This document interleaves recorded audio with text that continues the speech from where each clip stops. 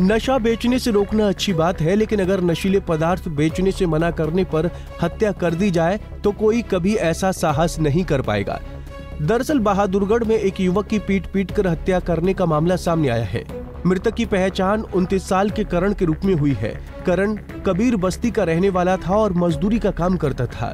करण के छोटे भाई आयुष का कहना है कि उसका बड़ा भाई पिछले करीब दो साल से दुर्गा कॉलोनी के अनिल के साथ रह रहा था और अनिल की सिविल अस्पताल के पीछे एक बस्ती में किराने की दुकान है जो नशीला पदार्थ भी बेचता है।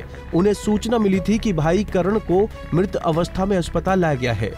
जब आयुष ने अनिल की दुकान पर जाकर लोगों से पूछताछ की तो सामने आया कि अनिल और अन्य छह युवकों ने मिलकर लाठी डंडों और लात घूसों से उसके भाई के साथ मारपीट की है। मेरा नाम आयुष है।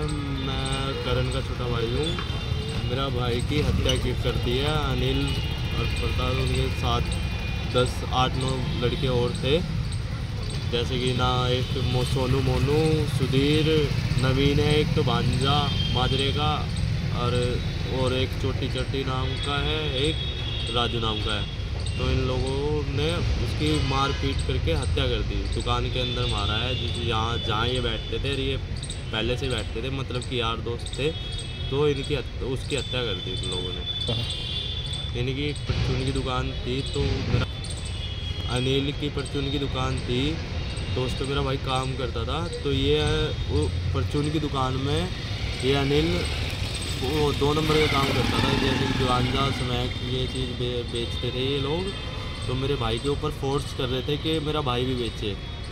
तो मेरे भाई ने मना कर दिया कि मैं नहीं करूँगा ये काम तो उसको इस इस वजह से उसे बुला के उसके ऊपर आरोप लगा के किसी चीज़ का तो उसके साथ हाथापाई करके तो उसे मार दिया। पुलिस को शिकायत दे दी है आपने? हाँ पुलिस को शिकायत दे दी है पुलिस कार्रवाई कर रही है अभी जल्द से जल्द आरोपी को पकड़ लेगी मामले को लेकर पुलिस ने मृतक युवक के परिजनों की शिकायत के आधार पर केस दर्ज कर लिया है।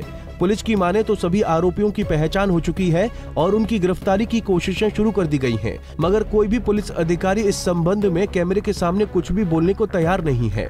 हालाँकि अब देखना दिलचस्प रहेगा कि मामले को लेकर पुलिस कब तक आरोपियों को गिरफ़्तार कर पाती है। बहादुरगढ़ से प्रवीण कुमार धनखड़, पंजाब केसरी टीवी। हमसे जुड़े रहने के लिए हमारे YouTube चैनल को सब्सक्राइब करें और नई वीडियो की नोटिफिकेशन के लिए बेल आइकॉन को दबाएँ।